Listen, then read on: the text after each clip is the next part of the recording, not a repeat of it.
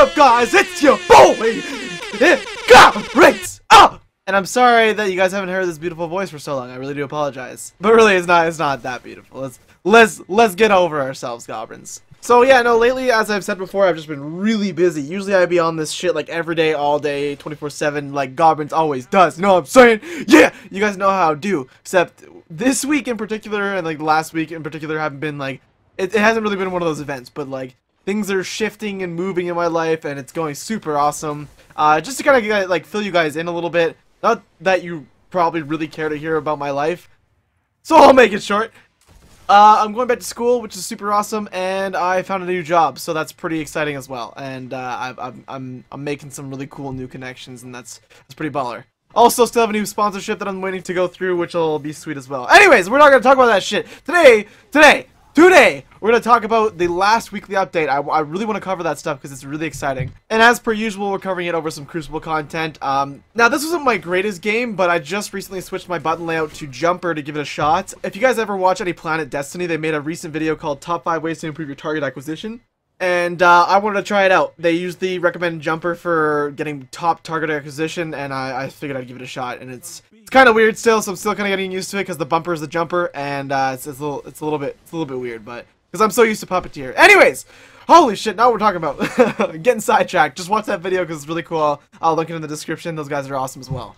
Uh, anyways, we'll talk about that later. So, the weekly update, you guys. The weekly update. Oh my lordy lord. So, Luke Smith has some stuff to talk about in the weekly update, and that is that they're revamping the entire UI of quests and quest lines and all that stuff for Destiny. That's super, super cool looking. Now, it's gonna look a little something like this now. You have an entire page dedicated to progress for your quests and, and, and your exotic bounties and all that stuff.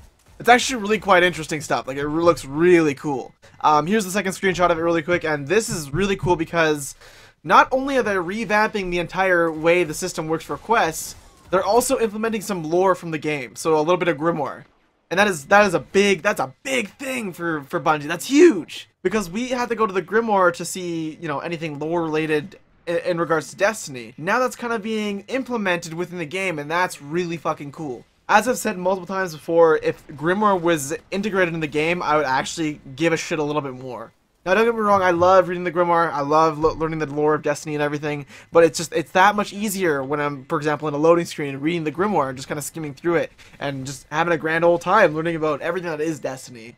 So that's something they're actually implementing a little bit of, and it's really, really cool, as you guys once again can see in the screenshot. Um, I'm excited for that for sure. Now that, of course, leads to the idea that, that we're probably going to get a little bit more inventory space, which is also really fucking cool. And I, am I, I like that. I'm excited, man.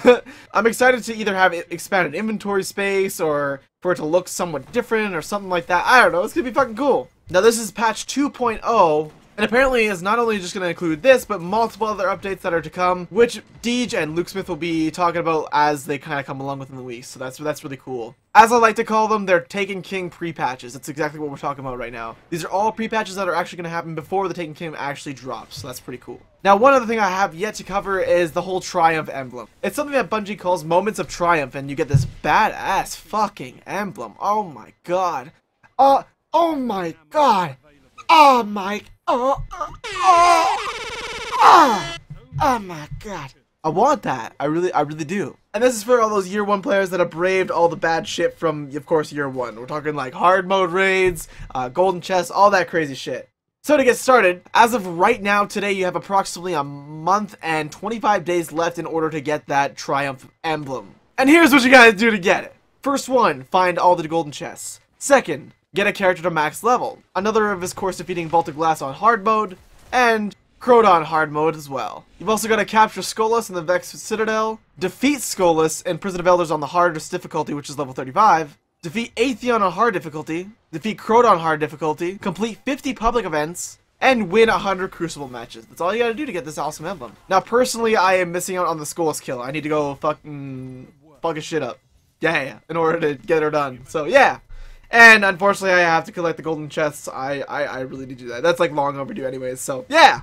Ah, Bungie coming with the cool ass shit. And once again, that is only a little bit of information from patch 2.0. We, apparently, we've got lots of stuff to talk about, which is going to be really exciting to see it roll out over the couple of days or so. Well, hopefully a couple days, because then another weekly update will be out. But over a couple of weeks, I should say. Considering Taken King drops on once again September 15th, which is also also really fucking exciting. But let's be real, should be out right now. You know what I'm saying? That's that, like like that right like today. You know what I'm saying? Today. Okay. Good. And that's unfortunately all I got to talk about for today, guys. As per usual, thank all of you for your support very, very much. And as I always say, drop a like for your boy, Gobrins, if you enjoyed the video. And I'll be back here with more Destiny content shortly, so take it easy, guys. Have a general good, and I'll see you guys then. Peace out!